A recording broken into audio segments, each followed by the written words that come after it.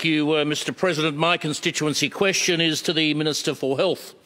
The people of Footscray and the uh, wider Inner West remain deeply concerned about the prospect of a drug injecting room uh, in their community. After the, the, debacle in North Richmond, locals are genuinely afraid of the impact such an injecting room will uh, have on their businesses, families and indeed their way of life. Locals are not in any way convinced by government assurances that such a facility will not happen. They remember the monstrous lie told to the people of Richmond before the drug injecting room was established there.